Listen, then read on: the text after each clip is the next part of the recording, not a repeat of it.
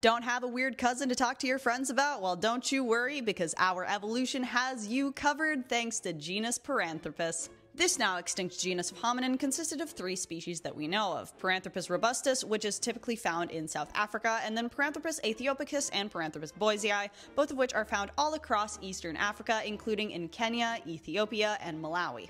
Now, I don't have enough time to cover these species in depth, although I plan to do it at some point on my YouTube channel once I start making long form content, so here's a few fun facts about genus Paranthropus. 1. The members of genus Paranthropus are also known as the robust Australopithecines, and this is partly because some biological anthropologists believe that genus Paranthropus shouldn't exist and all three species should instead be classified as members of genus Australopithecus. So you'll see them being referred to as both Paranthropus, and also as the robust Australopithecines. Number two, their teeth are wild, and by that I mean their molars and premolars are absolutely ginormous, while their incisors and canines are very, very small.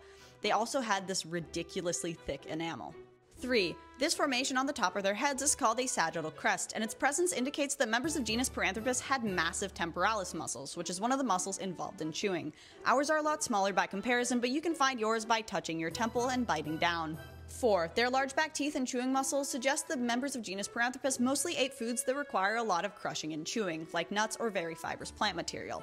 However, I should add that it's possible those foods were just fallback foods they were adapted to eat for survival purposes, and that genus Paranthropus might have actually been more omnivorous than its dentition suggests. And that's a few fun facts about genus Paranthropus. If you learned something new today, be sure to like, comment, and share because those are the things that help the algorithm get me out to more people. And if you want to hear more about the echoes of humanity's past, be sure to check my page.